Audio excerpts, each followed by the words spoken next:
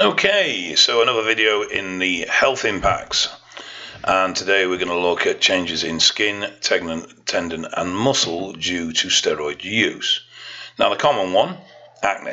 Uh, this is probably one of the most common side effects with steroid use at all, and there are several causes.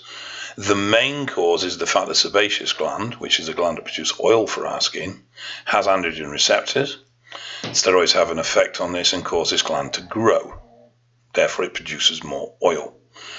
Now, to some degree, a uh, 5-alpha reductase like finasteride can help because it will prevent the conversion of test to DHT, dihydrotestosterone. Um, but it's not foolproof. Really, the only thing you can do is increase your personal hygiene, exfoliate and shower more regularly, and keep your skin as clean as possible. There will stop the oil building up and dirt getting trapped, and therefore acne. However, hormone imbalances can also cause acne, so it's worth managing your estrogen correctly and keeping things in some form of balance as best you can. And there's one other common cause, and this is stress. Now, our central nervous systems get stressed by training. They also get stressed by heavy metal contamination, particularly in UGLs. UGLs have high levels of heavy metals, unlike pharma. Now, this can cause rosacea. Generally, it'll be facial um, and it is treatable, but it does take antibiotics and it does take quite a long time. The only downside is that once you've got it, you will then fall be more susceptible to it, and it will come back at other times and periods of stress within your life as well. There's not really great deal you can do. However, Himalayan salt baths will help draw heavy metals out, as will a product called EDT. Now, abscesses, those sort of infections. Generally speaking, most abscesses are caused by user hygiene. Now, plenty of people shout off about the gear being bad, but it is not that common. Usually it's because they fucked up. Now, if you've taken three, four injections out of a vial on the fifth one you get an abscess, there's nothing wrong with the gear. It's you. You're ballsed up. But people don't like to admit this, so it's easy to blame the gear as being bad. However, abscesses can also form another way, and they generally result in a staphylococcus or a, oh, hang on, you know I'm bad at pronunciations, bear with me, aureus infection. And this is internal bleeds. This is when you clip a vein or an artery and you get some blood pooling. Now, if post-injection you've got a swelling, it's not uncommon, it can happen quite a bit. Generally, that's a pooling of hormone. Some heat and massage, it's going to disperse, everything's going to be fine. However, if you find the lump enlarges or it gets angry, it's accompanied by heat, itching, or a change in skin texture or colour, chances are you've got something a little bit more funky going on. Now, this isn't really medical advice, but it was something that was told me a very long time ago by a very old school doorman and has proved to work very effective. What put it in will get it out. And by that, what I mean is, if you've got a swelling, a lump, and you fear that there's some infection going on in there, stick a needle in there and aspirate.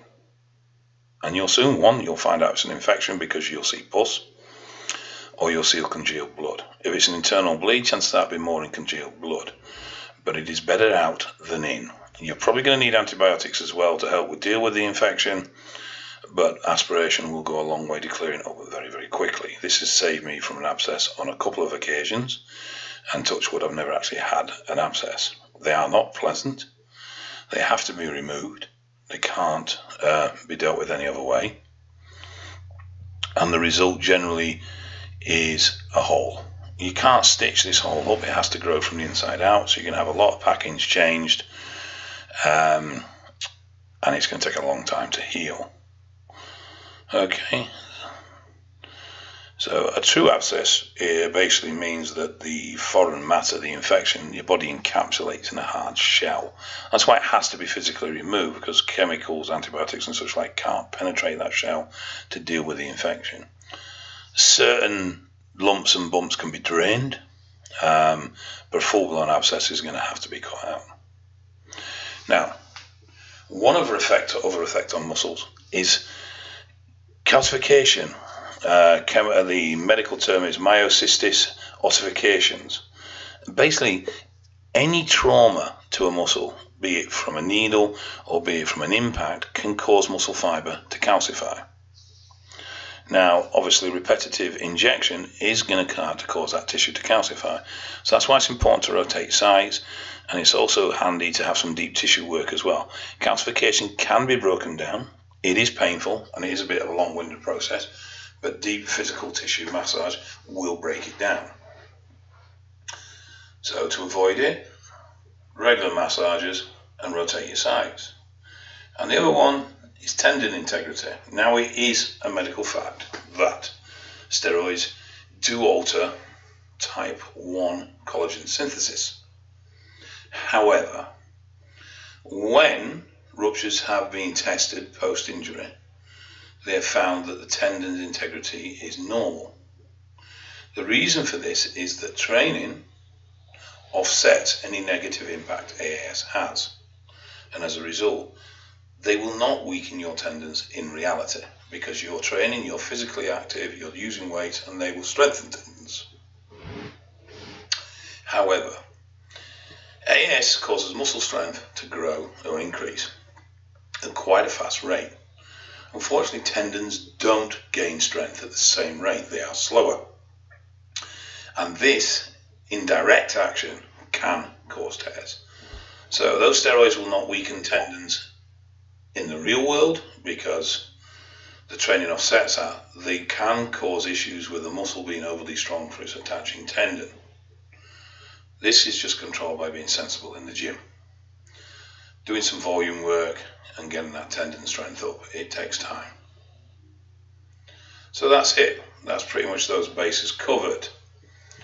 So like I said, spots, health regime, hygiene. That's your best fight there.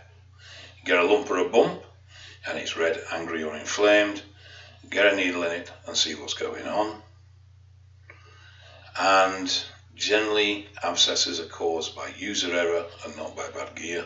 Don't get me wrong, there are exceptions, but a lot of people that I've seen shouting about this gear causing abscess, that gear causing abscess, when you get to the bottom of it, you find out that that wasn't the case.